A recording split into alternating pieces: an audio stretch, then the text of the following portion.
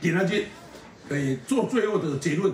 二十号上午，台南市国民党团大动作召开党团会议，讨论台南市政府议长选举到底会不会蓝绿合作。反对民国配，关注于已经传达这信息，所以这个案，我想中央纪律只是我们就不宜再讨论了。如果有人不依照中央指示，诶，跟民进党配的话，我们大概会记入党纪，哈，明确的可能会停减四年。澄清没有民国配这回事，只是新任期的台南市议会泛绿阵营席次过半，蓝营想要拿下副议长得要很拼。民进党确定推派邱丽丽角逐议长，林志展则是问鼎副议长，但却传出民进党邱丽丽搭档现任副议长国民党的李文俊结盟民国配的版本。哎，是国民党的意思啊？啊，你个人呢？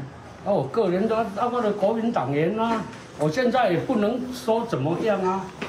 国民党的意思就是这个样子。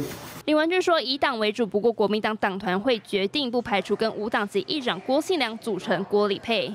不过有两大条件，郭信良当选议长后不能回归民进党，另外也要全力支持李文俊参选副议长。国民党公开表达合作意愿。呃，政党的决定我都予以尊重了，还是那一句老话了，该你的就是你的了，不是你的争也没有用。蓝营寻求合作，无党籍郭新良没有正面回应。正副议长谁能拿下？二十五号见分晓。近新闻黄玉娟和梦者张子阳采访报道。立刻下载近新闻 App，一手掌握新闻时事，尽善尽美，尽好新闻。